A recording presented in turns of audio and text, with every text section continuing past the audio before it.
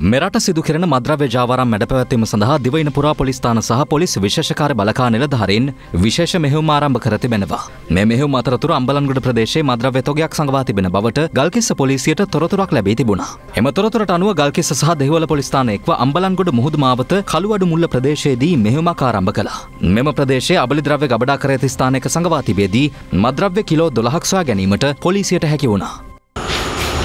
මේ තීරණ වතාවද ගෙන නා හම්බුනාම මම දවසට පේනවාද මේකේ අමුතු ගලක් එනවා නැසල ඒවල කිව්වේ මම කියන්න දැක්කා. ඒක බෑග් එකට බැලුවේ නැතිද?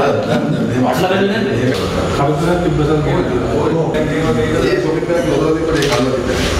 මැන්ඩි නමින් හඳුන්වන මෙම මද්‍රව්‍යවල වෙළඳපළ වටිනාකම රුපියල් මිලියන දෙසිය ඉක්මවන බවද දෙහිවල පොලිසිය පවසනවා. අතඩංගුට ගත් සැකරු අම්බලන්ගොඩ කළුවඩ මුල්ල විජයාරාම් ප්‍රදේශය පදිංචි තිස්තුන් හැවරදි පුද්ගලයෙක්.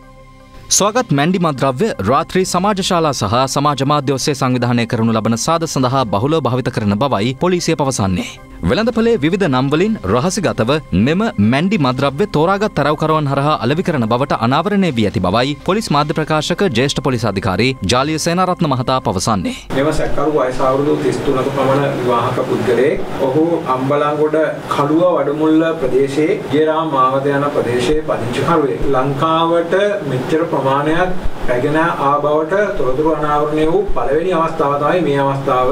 මද්‍රව්‍ය කිලෝ 12ක් පමණ අත්අඩංගුවට ගැනීමට හැකියාව ලැබුණා. මැන්ඩි යන නාමයෙන් හඳුන්වන රුපියල් මිලියන 200කට අධික වටිනාකමක් තිබෙන බව වෙළඳපොළ වටිනාකමක් තිබෙන බව තමයි මේ වෙන විට අනාවරණය වෙලා තියෙන්නේ.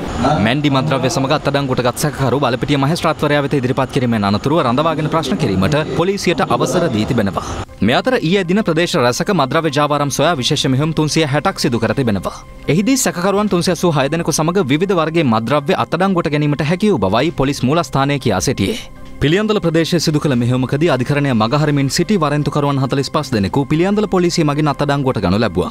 ඒ පිරිස අතර කාන්තාවන් 11 දෙනෙකුද වන බවයි පොලිසිය පැවසුවේ. මේ පිරිස කැස්බෑව වැඩබලන මහේස්ත්‍රාත්වරයා හමුවට ඉදිරිපත් කර තිබෙනවා. උතලම් ප්‍රදේශයේ සිදු කරනු ලැබූ විශේෂ වැටලීමකදී හෙරොයින් මද්‍රව්‍ය ග්‍රෑම් 10 මිලිග්‍රෑම් 410ක් සමග පුද්ගලයන් දෙදෙනෙකු අත්අඩංගුවට ගෙන තිබෙනවා.